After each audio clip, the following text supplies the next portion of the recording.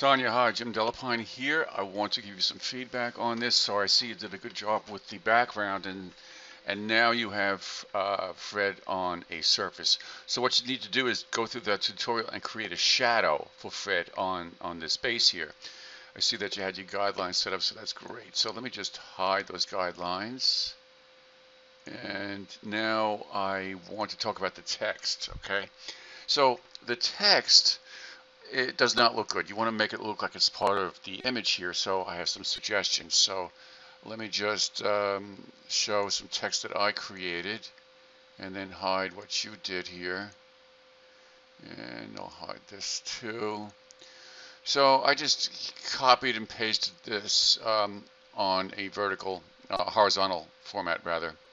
So uh, this this font is fine. This will work for what I have intentions of doing with it. So uh, what I'm going to do is uh, just scale this up And I can, I'm going to stretch it and just make it a little funky looking. And Okay, so we'll place that somewhere up here. Okay.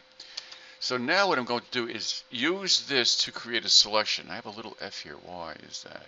I don't know what that is. Hmm. Uh, let me zoom in. So here, I want to find out where that is. So I'm going to click on that and hmm. Okay, so since it's not a font layer anymore, I can simply select it and delete it. Okay, so that being said, what I'm going to do is if I control or command click on the thumbnail for that layer, okay, I can now use that selection to do this. I'm going to hide that layer, go to the blue top area here, and then what I'm going to do is hit Control J that will copy what's in that layer to the layer above. Uh, rather, what's in that selection to the layer above. Then what I'll do is I'll drag this on top of this, this because you have this food element here that's a clipping mask. So let me just redo that. So it changed into a different color, which is fine. So now what we'll do is double click on that layer here and create a, um, a, uh, a layer style. So I'm going to go with bevel and emboss. And I want you to experiment with this, okay? So if you choose outer bevel, I think that looks a little better. And you could also go in here and let's see, I'm going to go to color overlay, select the name, and then you can select a, a color in here. I don't know why that came out as green. So I'll select a, a color. Um, yeah, yeah, I guess something in the blue area would be fine to kind of match the background. And you can lessen the opacity of it. Although, um, hmm, no, that's working. Okay. Yeah, so something like that. Um, and I think that'll be fine. So something like that. And then we'll do the same thing with Fred, but with this, I'm going to place this on the floor here. So I've showed this technique to other people too. So um, I'm going to stretch this up. I'm going to stretch this out. Okay, and I'll do it something like this. Okay, I'll hit enter. And then, now notice I changed this from a text layer to rasterized layer. So what you'd have to do is, if this was text, like for example with this, you'd have to right click on the layer and then select rasterized type. So I'm going to need you to do that for, for this, uh, this text here also, okay? So now what I'll do is this. I'm going to go to Edit, Transform. Whoops. I have to have the right layer active, of course. Uh, where is this? Okay. Edit, Transform, and then Perspective. Why isn't that? Ah, that's because it's it's a text layer. So I need to right-click, rasterize the type, and then Perspective will be an option here. Okay.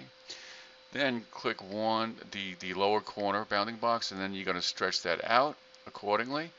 And this way you'll get the illusion that it's on the floor. Okay, I'll hit enter.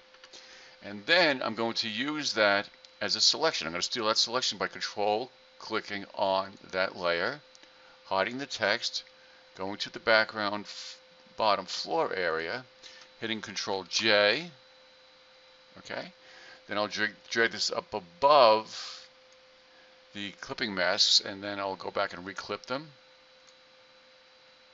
Okay. And now what I have is the ability to uh, use the same layer style.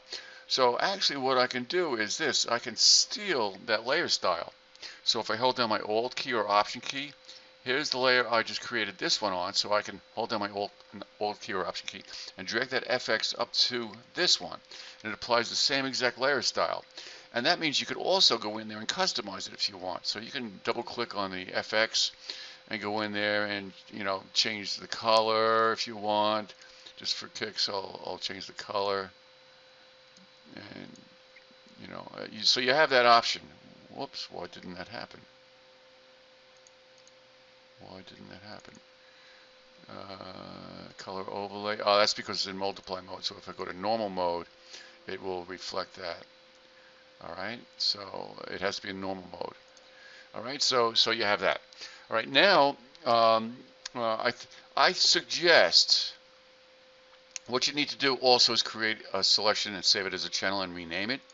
All right, I see that you do have some some layer uh, adjustment layers in here that you created clipping masks out of. I'm going to suggest you do that with the hat, okay, because the hat is very dark.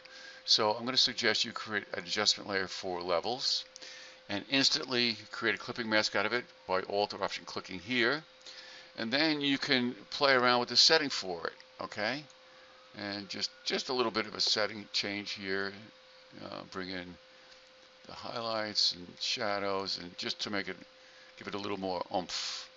Okay? So this is so let me close out of this. So this is before and after. So you, see a lot more details in the hat when you when you can uh, make that adjustment okay? You may even want to do that with the cone. You know, you may want to do that with each layer. This would, if you go into levels, instantly create a clipping mask, and then make uh, an adjustment. Um, I'm really, you know, the original cone is actually pretty good, uh, but I'm on the wrong layer. No wonder why. Um, hmm. Uh, yeah, you also have to do a better job with this candy cane using the, the clipping mask, okay? Uh, I'm sorry, the layer mask. So where is this cone? Uh, the cone's way down here. So uh, let me just tie that. Okay, so down with the cone, I'm going to create an adjustment layer for levels and instantly make that a clipping. You actually, you do have levels in there. Okay, so here's what happened you did not make that a clipping mask. So that means it's affecting all of the underlying layers. So um, what you need to do is alt click here and now it's affecting only that layer okay with the ice cream cone and that looks a lot better okay so uh, I hope that helped. All right? Don't forget that shadow. All right? Okay take care